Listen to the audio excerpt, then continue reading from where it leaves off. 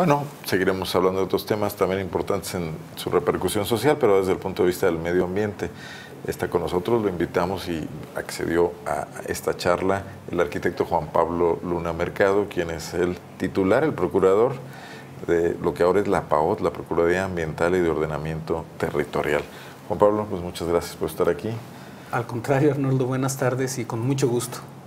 Antes que nada, yo te preguntaría, en este cambio de, terminología y me imagino que de conceptos, donde también ustedes les asignan eh, la responsabilidad por el ordenamiento territorial, ¿cómo, ¿cómo se ha dado el tránsito de lo que era el anterior PROPAE ahora? ¿Es más chamba, hay más responsabilidades? Sí. ¿Tienes la infraestructura para hacerlo? ¿Cómo son las cosas? Sí, es eh, obviamente mucha mayor responsabilidad, mucho más trabajo. También implicó y nos obligó a rediseñar estructuralmente la Procuraduría. Lo hicimos y con la regla muy clarita que desde un principio el gobernador me señaló, que es hacer más con menos. Entonces tuvimos que... Pero eso tiene límites. ¿eh? Tiene límites. Llega el momento y, en que... Y sin embargo hay que ser muy claros en comprenderlos, estar conscientes de ellos e ir sembrando en lo que cabe. Siempre hay una desventaja en relación con el ritmo que tiene el crecimiento económico del Estado y también el ritmo que tiene la, la conciencia en términos de respetar el medio ambiente y los ordenamientos territoriales, principalmente de los sectores productivos y de ciertos segmentos sociales. Pero creo que estamos eh, en la ruta correcta. Más o menos, ¿qué hicimos?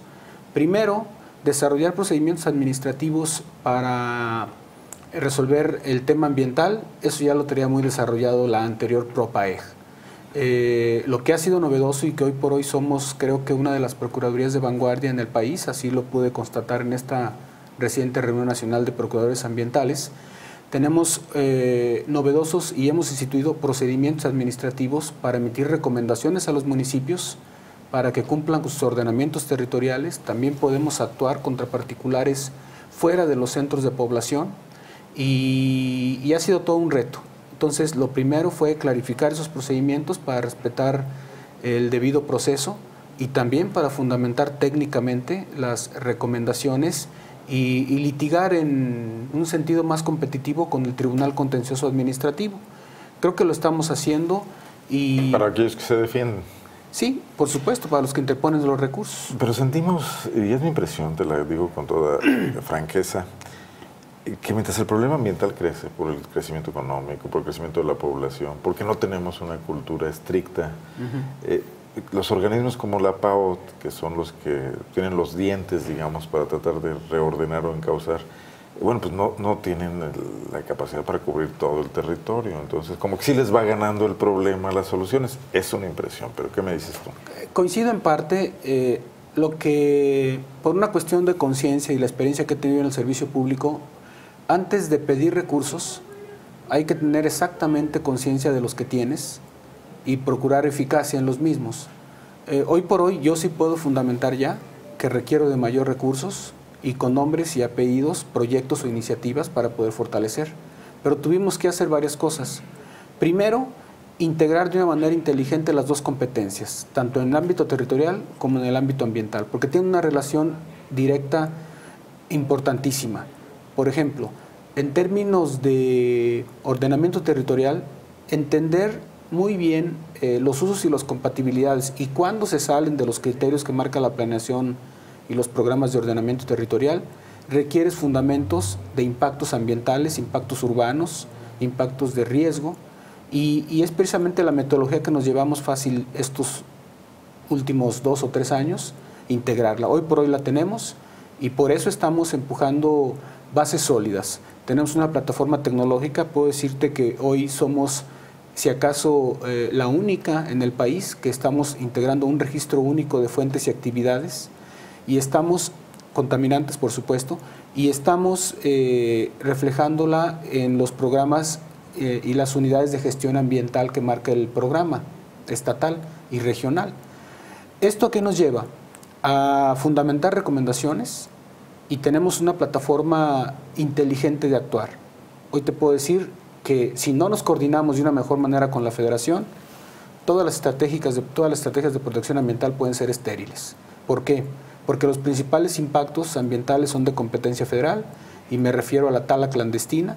Para poder tener eficacia, eficacia en la sanción, tiene que ser el gobierno federal. Tala clandestina, toda la contaminación de, los mantos acuíferos, también la parte de residuos peligrosos. Hoy por hoy estamos viendo un incremento en los accidentes eh, de vehículos que transportan residuos peligrosos. También cada día se incrementan las contingencias ambientales en ciertos establecimientos que no tienen el adecuado manejo. Y ahora tenemos el robo de combustibles que ha derivado en que el petróleo y la gasolina y el combustóleo se riegue por todas partes porque hay una toma ahí. Sí, adicional. Entonces, tenemos que mejorar la coordinación con el gobierno federal, particularmente Profepa y Conagua y la Semarnat tienen limitaciones locales muy importantes, reconocidos por los propios delegados, y el Estado tiene que ver por el Estado mismo. Entonces, ahí estamos haciendo un planteamiento, un esquema de coordinación, un sistema estatal con los municipios de vigilancia. Ya firmamos con 42, nos faltan cuatro municipios eh, para poder crear estas comisiones con enfoque de gobernanza. Eh, hemos aplicado la ley, también no es un dato como para enorgullecerse desde cierto punto de vista, pero estamos prácticamente eh, triplicando lo hecho por la Procuraduría en términos de sanciones y clausuras y aplicación de medidas de los últimos tres sexenios. Y, y, ahí vamos. Tenemos sembrando iniciativas para atender ya de fondo el tema de ladrilleras y el tema de bancos de material. Y bueno, estamos ya creando... Problemas añejos y que parece que nunca se le encuentra la cuadratura del círculo. No, sin embargo, yo sí tengo mucha esperanza, Arnoldo, porque eh, esta experiencia que tenemos con los curtidores, ahorita en el proceso de autorregulación, eh, nosotros estamos aprendiendo que si creas estructuras, rutas críticas y comprometes a los empresarios, eh, se avanza más rápido. y hay ejemplos ya muy concretos que te puedo dar en un momento más de la industria curtidora. Pero el método funciona. ¿Qué es lo que hay que hacer? Ahí hay cosas de repente, fíjate, tocas un tema que a mí me parece muy interesante, lo hemos investigado, hemos publicado aquí eh, eh, reportajes. Eh, se construye una planta tratadora, si es una inversión pública, bueno, es una concesión, es un, servicio de estos privados que va a recuperar. y luego resulta que la planta no logra su punto de equilibrio, necesita ser subsidiada, pero que no se mide lo que entra a la planta.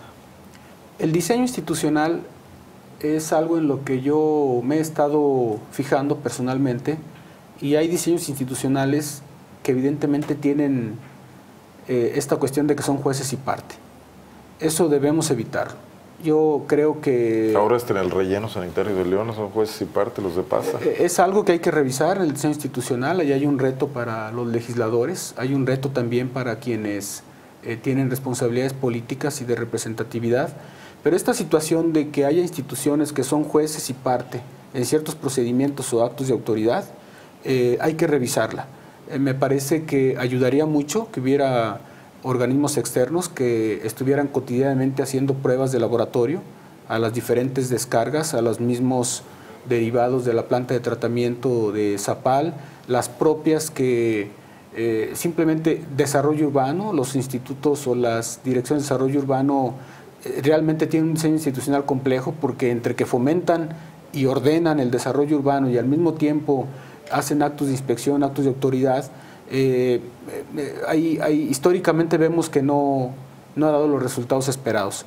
en la Procuraduría estamos sembrando cosas a futuro, nos estamos preparando, estamos muy conscientes pues de los impactos ambientales y territoriales que tiene el crecimiento económico, lo estamos viendo en toda la parte en la zona Laja Bajío, con la llegada de Toyota. Eh, no podemos cerrar los ojos. Históricamente hay tesis probadas de lo que sucede si no... Las que ya funcionan, Mazda, Honda, General Motors, que tienen más de 20 años, eh, bueno, todo el puerto interior. Eh, ¿Cómo está el impacto ambiental de todo ese crecimiento industrial? ¿Ustedes lo tienen medido? Mira, hay datos, hay datos sueltos. Precisamente lo que nosotros queremos hacer con estas comisiones Estado-Municipio es que el piso de la verificación normativa sea el ordenamiento territorial, los usos y las compatibilidades. Tenemos que ejecutar lo que planeamos. Si no, los planes seguirán siendo nada más elementos para discursos demagógicos. Más bien hay que irnos a sentar estas bases que lo estamos haciendo. Y hay datos, los planes, porque cada vez que se hace un plan nuevo hay que invertir una lana. Cuestan, cuestan que es tan buen dinero. Eh, y me voy a tu pregunta, hay datos aislados. Por ejemplo, un dato que a mí me impactó del Instituto Estatal de Ecología es que estamos generando más de 400 mil toneladas al mes de residuos provenientes de la industria metalmecánica. Eh, Vinculada a lo automotriz, todo ello. Por supuesto. Entonces tú dices, ah, caray. ¿Se están confinando? ¿Dónde se están tirando, no? Y, toda la proveeduría también, los rellenos sanitarios o todo lo que son los sitios de disposición final son un buen termómetro de qué tanto está funcionando eh, las normas existentes y las propias obligaciones de las empresas. Eh, de repente encuentras eh, residuos que no deben de estar ahí, y, y, eso es ahorita lo que queremos hacer. De ahí la importancia, primero, de coordinarnos con los municipios, porque primero va el uso de suelo. Si hay una buena estrategia de administración y de vigilancia de los usos y compatibilidades, los impactos ambientales, los impactos urbanos, los impactos de riesgo, eh, se ven disminuidos o tendrán mejores posibilidades de controlarlos. Entonces, ahí estamos sentando las bases y de ahí que hagamos este registro único de fuentes y actividades contaminantes, porque de esa manera podremos calcular las emisiones, podemos calcular los residuos y algo muy importante que eh, no se vigila, que son todos aquellos pasivos urbanos que generan los incumplimientos en las condicionantes de uso de suelo y que afectan a la hacienda pública municipal al mediano y largo plazo y repercuten en, las, eh, en los segmentos más débiles, porque a final de cuentas reducen las posibilidades de asignar recursos para estos temas. Retos en lo que queda de esta administración. Bueno, este año y poquitos meses. Bueno, el primer reto es consolidar eh, el diseño institucional que hicimos, eh, prepararnos para el debate cuál debe ser la mejor estrategia para la siguiente administración y concretar los resultados que tenemos. Nos pusimos metas muy concretas y entregar en orden la casa. Hay eh, asuntos eh, o temas críticos que hay que cuidar en el pase de estafeta y es lo que queremos hacer también con mucha transparencia. Yo estoy empujando a que mis consejeros ciudadanos por sí mismos emitan un reporte de lo que hicimos, eh, que digan lo que hicimos bien, que digan lo que hicimos mal. ¿Cómo se integra tu consejo? Eh, está integrado básicamente por cuatro ciudadanos que designó el gobernador desde un principio. Lo, lo preside efectivamente un, un, ciudadano que es un especialista, el arquitecto Rafael Pérez Fernández, respaldado por gente de la Universidad Iberoamericana, del Colegio de Abogados, son cuatro personas, y eh, representantes de las principales secretarías que tienen relación con nosotros. Ah, oye, a ver, en lo que a ti toca, el tema de química central, ¿cómo solucionar ese pasivo ambiental que parece que no hay dinero que alcance, que la empresa ya ni quiere ni puede y prefieren quebrar y que ni gobierno federal ni gobierno del Estado tiene una bolsa para retirar todo ese contaminante? ¿Qué, qué, en términos prácticos, ¿qué puede pasar con eso? Eh, lo peor que puede pasar es que no se... Ya, ya, las multas no son solución de nada, ¿no? No, al contrario, yo creo que eso va complicando alguna, alguna solución previa a... Pues de plano ya no pueden responder los accionistas. Eso está muy acreditado y ya la Profepa trae procedimientos penales. Eh, nosotros hicimos una, una visita eh, con el delegado de Profepa, que por cierto, eh, yo estoy obligado a decir que ha tenido un papel fundamental no solo para el caso de Química Central, sino también para los curtidores. El licenciado Isa González Coldarón ha tenido una actitud muy proactiva como irapatense y yo creo que sin este enfoque que él le ha dado muy difícilmente pudiéramos avanzar. Eso, eso hay que reconocerlo. hicimos una visita con él, con el subsecretario, perdón, con el subprocurador eh, Rodríguez Avitia para buscar soluciones.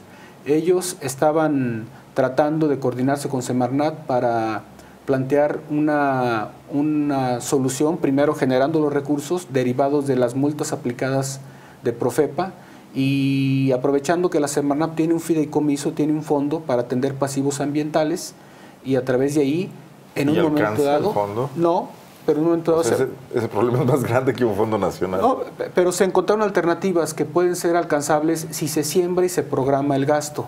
No hay soluciones... Pues hay que trasladar esa montaña de cromo a un...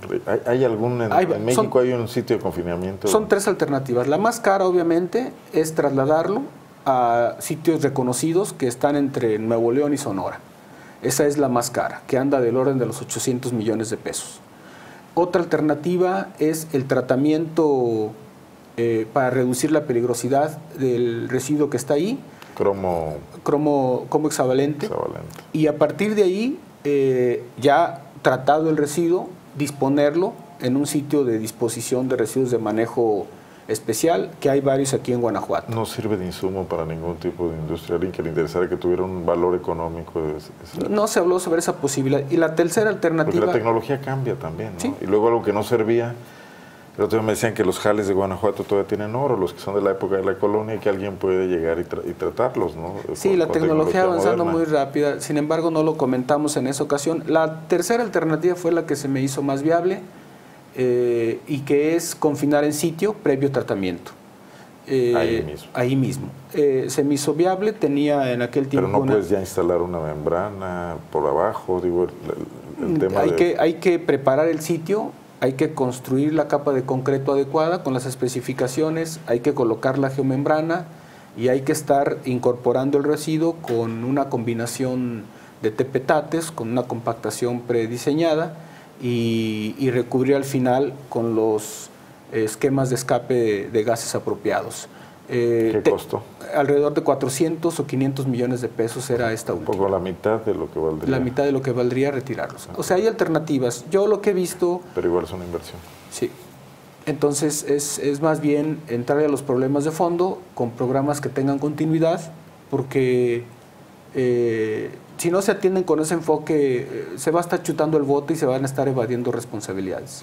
Nos extendimos un poco, pero me interesa mucho preguntarte finalmente cómo van los municipios en sus programas de ordenamiento territorial, en sus planes de ordenamiento territorial, qué, rezagos hay ahí. Siguen lentos, siguen lentos, eh, hay, hay importantes omisiones en la reglamentación y ya tienen que resolver problemas de de fraccionamientos industriales que están llegando de importantes empresas. Nosotros estamos acelerando ahí el paso y va a prolongarse todavía un poquito más porque precisamente está en el Congreso la Comisión de Desarrollo Urbano y Obras Públicas revisando el Código Territorial. Otra vez. Lo van a actualizar ahora con la nueva Ley de Asentamientos Humanos y esperamos que para septiembre puedan estar generando ellos ya el código actualizado y bueno, y esto nos remite a volver a empezar, eh, y es un poco la preocupación de la Procuraduría, y de ahí que estemos ocupándonos de crear estas mesas especiales, Estado-Municipio, para vigilar con un enfoque de gobernanza, porque de otra manera no es posible, es sentar a los actores y buscar soluciones o aplicar las sanciones.